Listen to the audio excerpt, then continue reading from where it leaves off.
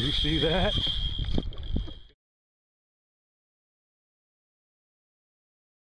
Well, I just passed the second rig, and finally I have three feet of visibility.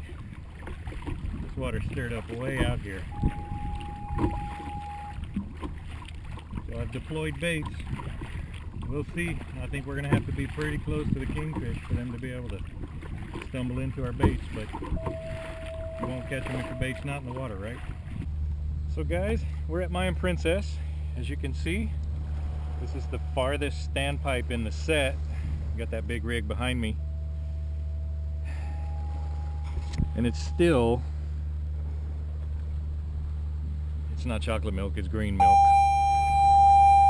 Got maybe six foot of visibility. The other four guys I'm sure are not gonna go any further than this. But there is one more option. It's about another two and a half miles out there. And I'm probably just the guy to go tackle that. So we're gonna be paddling a little more, looking for some clear water. Stay tuned.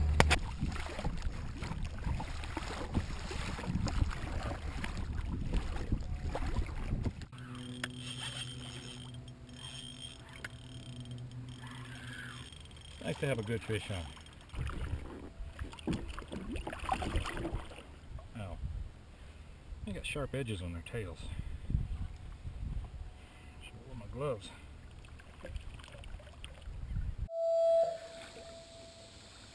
Oh, it's a black tip. Thought I had a cobe. Come here, buddy. Come here, bud.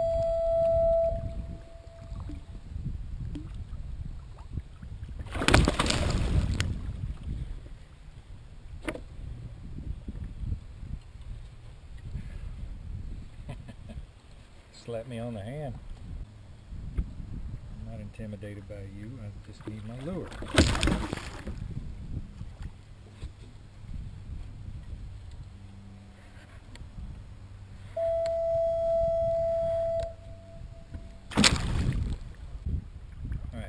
Cool.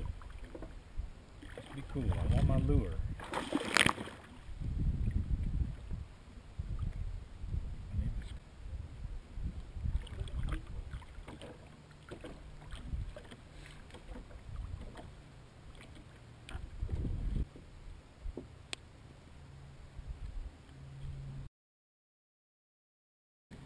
Okay. My lure, now to get him off.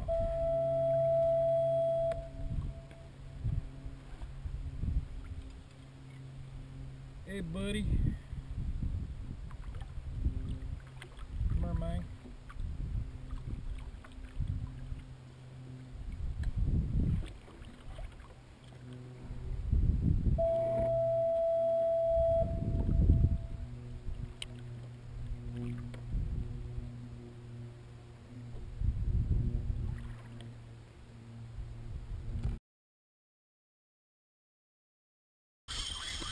Here we go. Oh, wow. This is a topwater dude right here.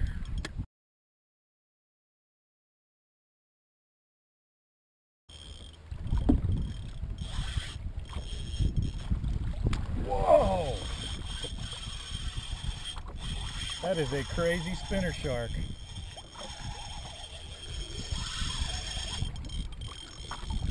That is a crazy spinner. Turns out he don't want to be hooked.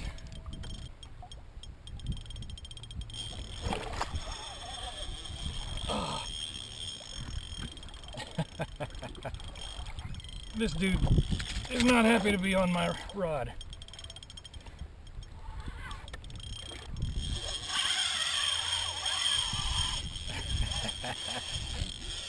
you gotta love that sound though.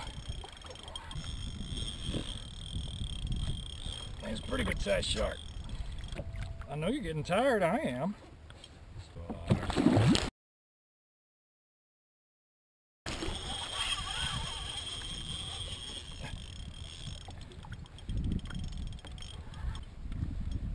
Yeah, that whole thing about keep your rod between 10 and 2, it's a nice thought.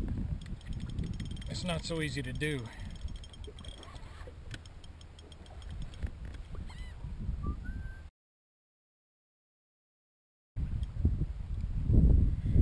You swallowed the whole thing, didn't you?